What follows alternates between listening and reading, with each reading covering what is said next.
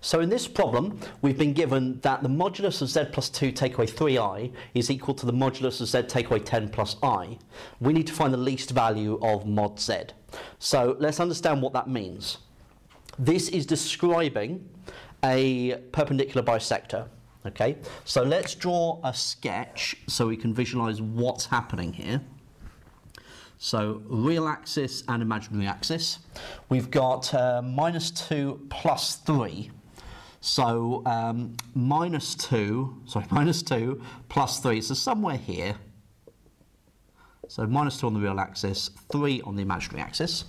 Okay, and we've got uh, plus 10, take away 1. So plus 10, take away 1, so something like this. Okay.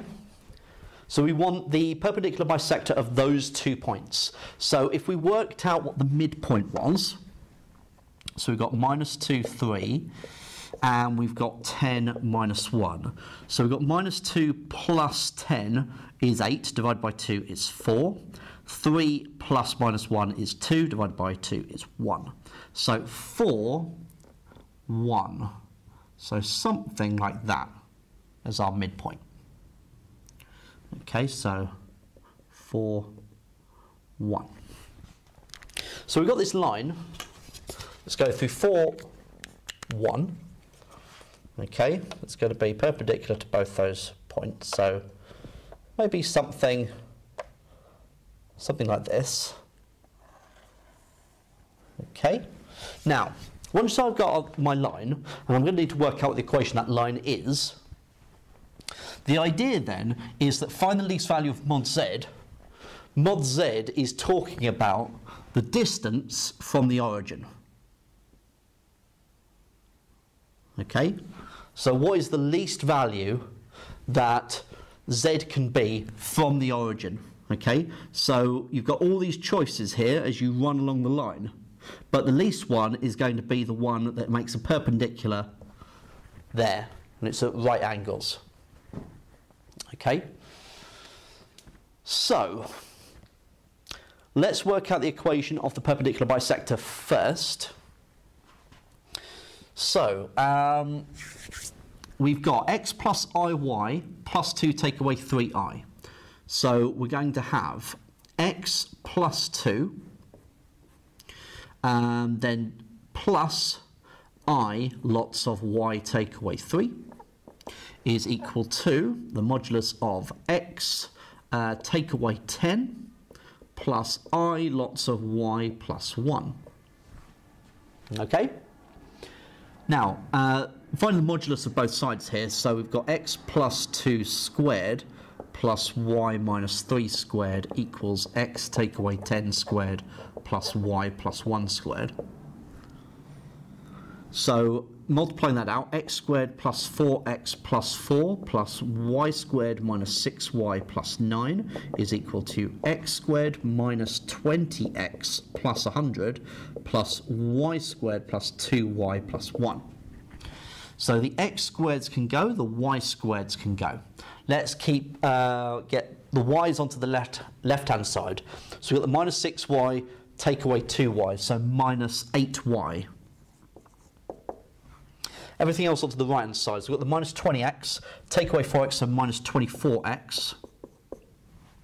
Okay, uh, we've got 4 and 9, so 13. We've got 101, so 101 take away 13 uh, would get us down to 88. Let's just double check. I don't want to make a mistake at this stage. Uh, take away the 9, take away the 4. Yeah, 88. Always worth checking. Right, okay. So then we can divide through by the minus 8. So y is equal to minus 24 divided by minus 8 is 3, so 3x. 88 divided by minus 8 is minus 11. So 3x take away 11. So that point is minus 11.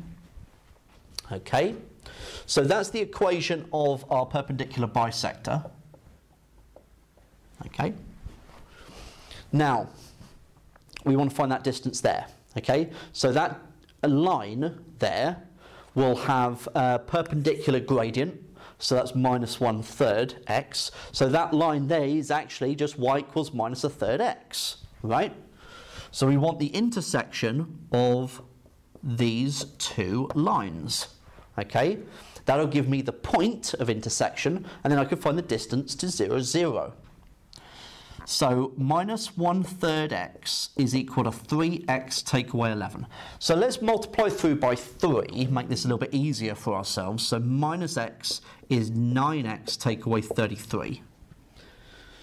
So uh, add x to both sides and add 33 to both sides. So x is going to be 33 tenths. Okay, so this point here is 33 tenths, and the y coordinate, multiplying that through by minus a third, will be minus um, 11 over 10. So minus 11 over 10 for the y coordinate. Okay? So, our job now is to find the distance between um, the point that we've just found and 0, 0. So if we draw a little triangle just to kind of visualize it. Okay. So this is my triangle here that I've drawn. Okay, just to make it a little bit bigger. So we know that the uh, base here is 33 tenths. 33 tenths. And that distance there is 11 tenths. So the least value of mod z is the length d, the hypotenuse.